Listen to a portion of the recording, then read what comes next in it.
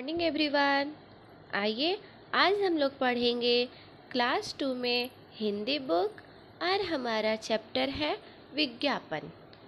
जैसा कि बच्चों, हमने आपको पिछले वीडियो में विज्ञापन के बारे में बताया था। विज्ञापन किसे कहते हैं? विज्ञापन क्या है? विज्ञापन का अर्थ क्या होता है? इसके बारे में हमने आपको बताया था। और हमारे कुछ प्रश्नोत्तर थे जो रह गए थे तो चलिए इस वीडियो में हम उन्हें भी कर लेते हैं। दिया हुआ है कि सही उत्तर पर सही का निशान लगाओ। सब्ज़ी वाला अपनी सब्जियों की बता रहा था। क्या बता रहा था? गिनती या विशेषता? तो हमारा उत्तर होगा विशेषता। फल वाले ने गर्मियों की सौगात बताया। किसे? आम को या अनार को?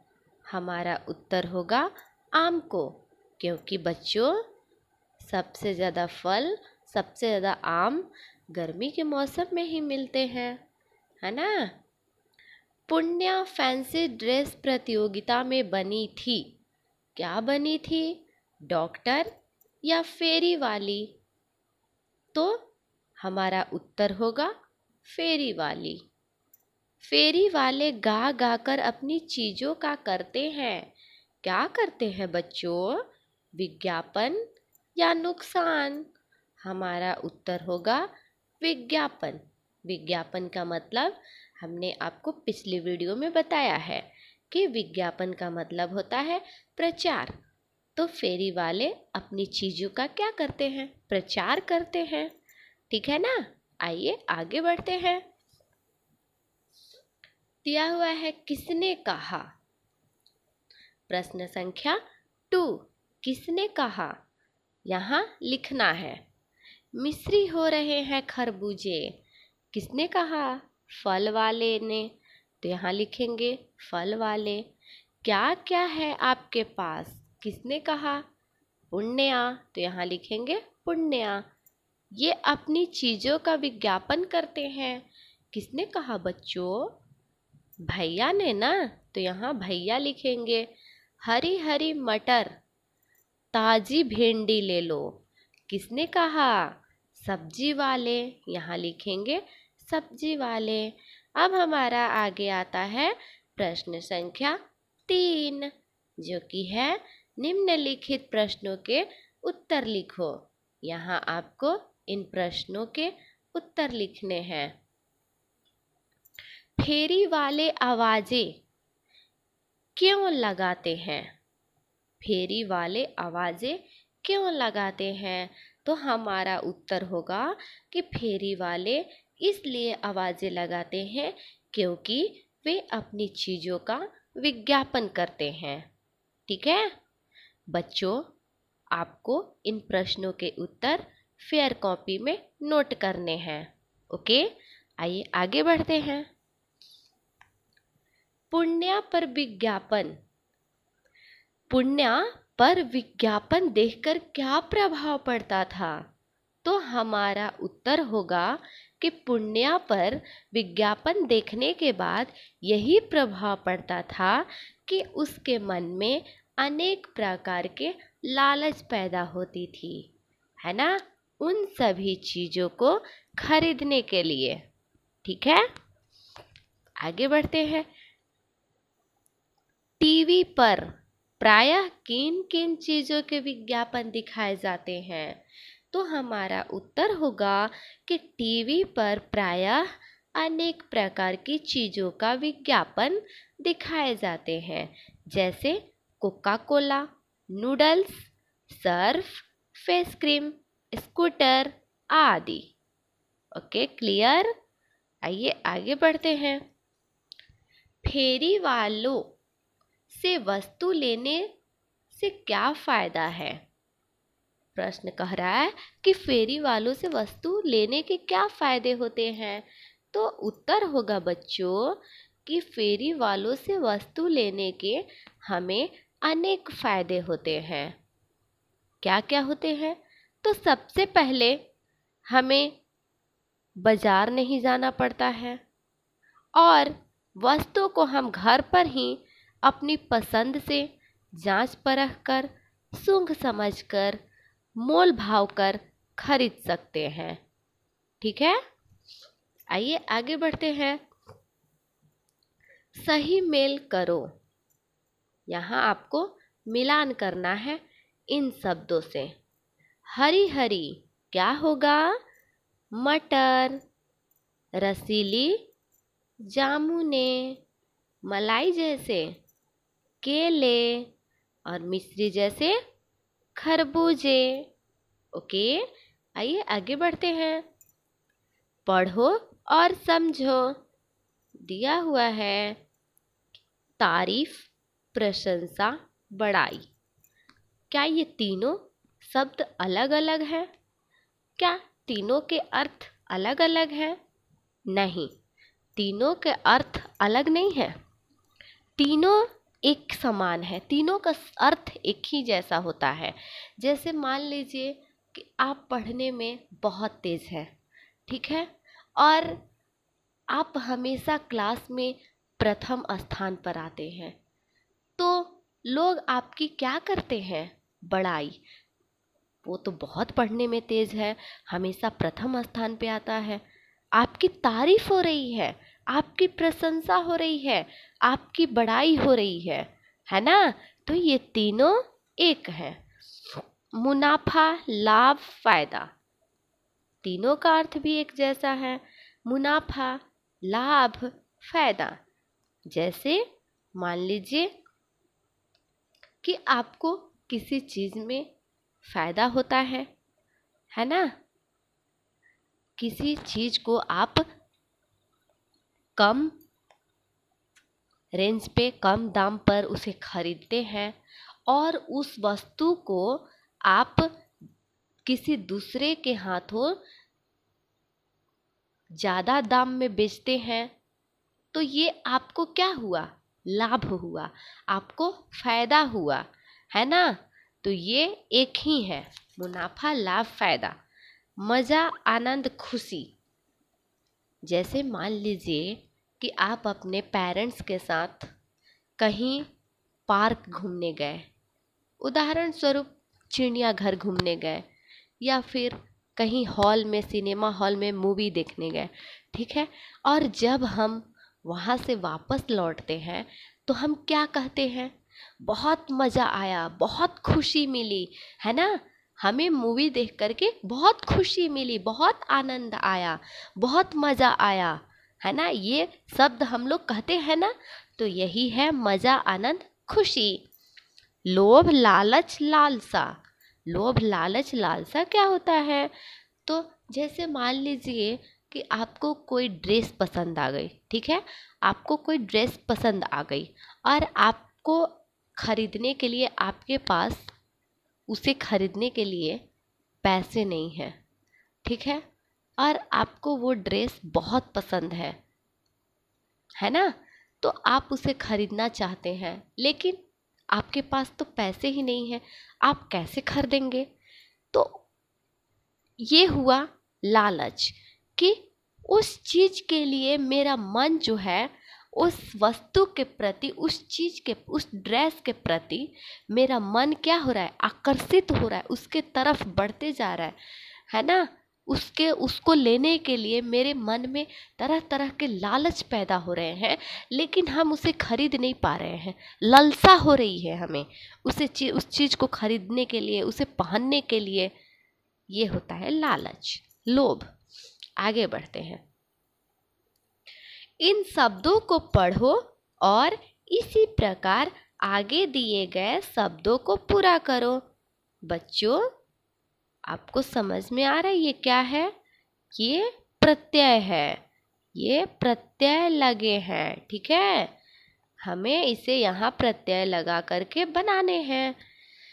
जैसे दिया हुआ है, खरीदारी, खातिरदारी, रिश्तेदारी, ठीक है? ये जो दारी है, इसमें क्या है? ये प्रत्यय है। इसी प्रकार से यहाँ दिया हुआ है खान। एक उदाहरण मैं आपको बता रही हूँ, खान। ठीक है? और हमने यहाँ दान। दान लगा करके खान में हमने दान को लगा दिया तो क्या हो गया? खानदान।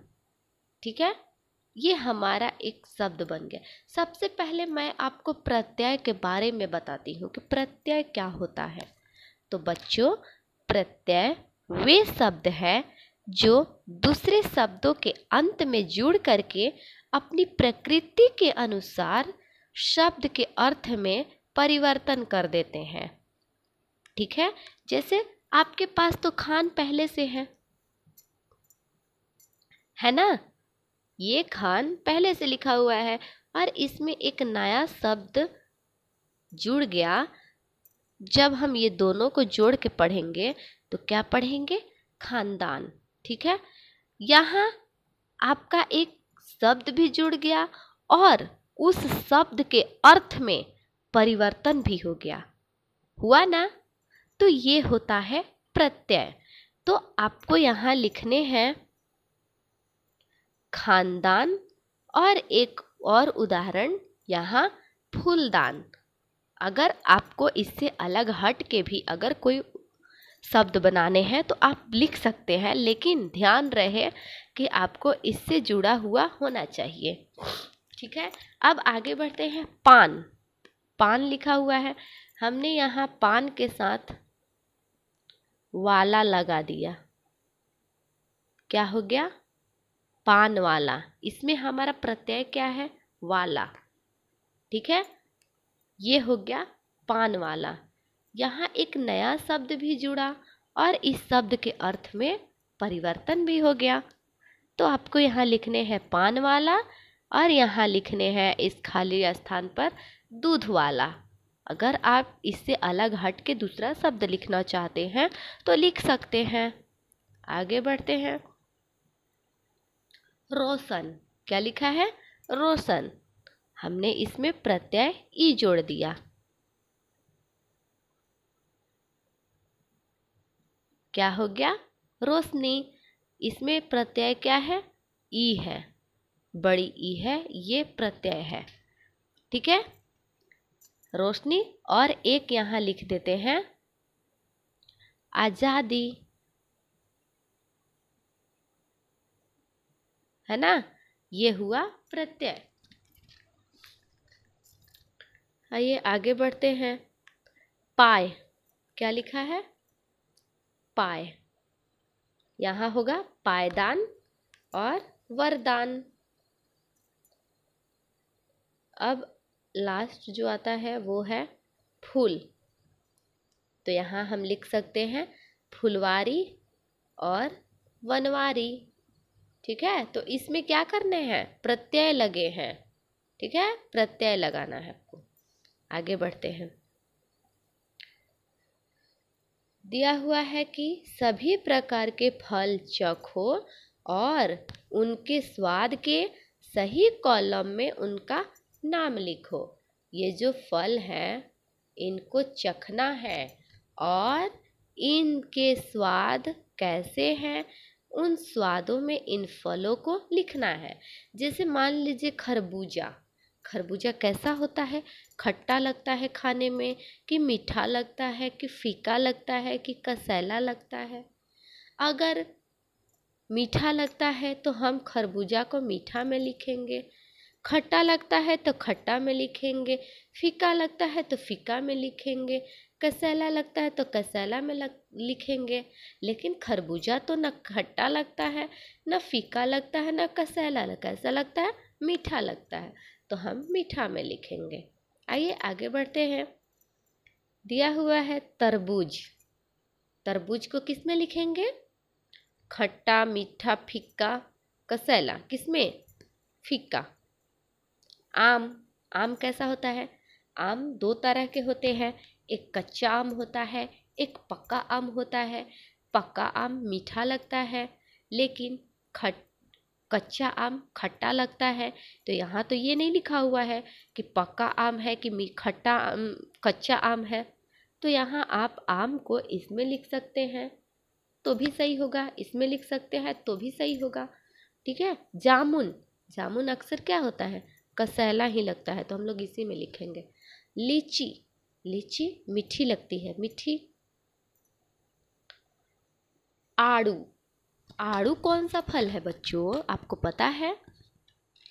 आड़ू भी एक प्रकार का फल है, जिसे हम लोग इंग्लिश में पीच बोलते हैं। P E A C H, peach, है ना? इसे हम लोग इंग्लिश में पीच बोलते हैं और हिंदी में आड़ू बोलते हैं। जो कि यह मूल रूप से चीन का एक फल है। बच्चों, यह फल चीन में उगाया जाता था, लेकिन अब क्या हो गया कि यह फल को पूरी दुनिया में उगाया जाता है। दुनिया के किसी भी कोने में इसे उगाया जाता है, किसी भी देश में उगाया जाता है, ठीक है? यह अनेक हिस्सों में उगाया जाता है। और इसका जो ये जो फल होता है, आपको पता है कैसा दिखता है? यह फल सेब। सेब तो खाए होंगे, सभी लोग सेब खाए होंगे। यह सेब की तरह दिखता है, ठीक है? लेकिन जो इसके अंदर का बीज होता है, वह बहुत कठोर होता है है ना? इसका बीज जो होता है, बहुत कठोर होता है। इसलिए इसे सेब के साथ तुलना नहीं किया गया। मतलब सेब से इसको अलग कर दिया गया है। लेकिन आप इसको जब ऊपर से देखेंगे तो एकदम सेब सेब की तरह दिखता है। तो आड़ू को हम लोग किसमें रखेंगे? मीठे। अनार, मीठी, केला, मीठी, पपीता भी, मीठा और चीकू। चीकू क्या है बच्चों? चीकू भी एक फल ही है, जो स्वाद में रसीला और मीठा होने के साथ साथ क्या होता है? स्वास्थ्य वर्धक भी होता है। मतलब आपके स्वास्थ्य के लिए अच्छा होता है है ना? चीकू खाना चाहिए। ठीक है? तो चीकू को हम लोग किसमें लिखेंगे? मीठा में लिखेंगे। आइए आगे बढ़ते हैं। दिया हुआ है कि अपनी पसंद के फलों के चित्र बनाओ। बच्चों, आपको जो फस, जो फल आपको पसंद है, उनके क्या करना है आपको यहाँ? चित्र बनाने हैं, ठीक है? बहुत सुंदर सा चित्र बनाइएगा, ओके? और उसे कलर भी कर दीजिएगा। आज के लिए बस इतना ही। चलिए, अब आप इसे, ये आपका होमवर्क है, इसे आप कंप्लीट कीजिए। है ना? ओके मिलते हैं आपसे अगले वीडियो में। Bye bye